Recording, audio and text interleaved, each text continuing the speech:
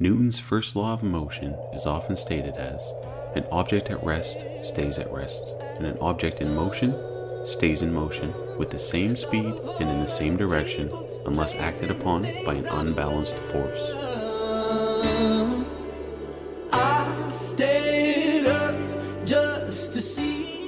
This applies to life as much as it does to objects. Start moving and remove those unbalancing forces from your life, and you will stay in motion. The hardest part is starting, but you must. There's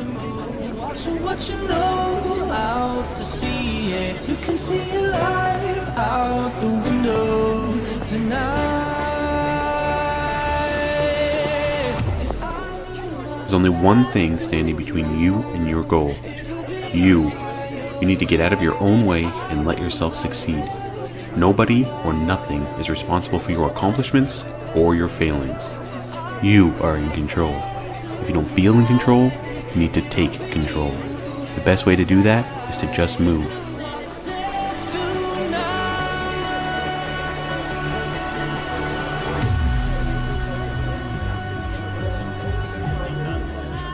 There's only one person you should ever try to be better than yourself. Don't waste your energy trying to be better than somebody else. Every minute you are thinking about how you can outrun, outscore, outlearn, outearn, out whatever somebody else, you are losing focus and momentum on becoming your best version of yourself.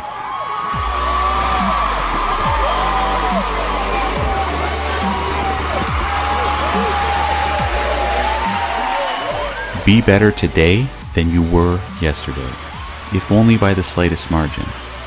Be your own competitor. Move beyond limiting beliefs and break down false barriers. Relentlessly pushing yourself to constantly be better is how you will achieve greatness. Don't wait. Move. Now.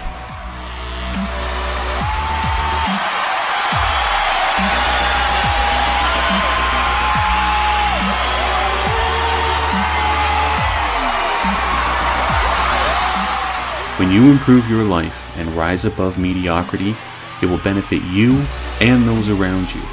Become inspiring. Show others that it can be done. Succeed. Your dreams are just that yours. They don't belong to anyone else. You are responsible for your happiness and fulfillment. Don't let anyone stand in the way of achieving your goals. Don't wait. Move now.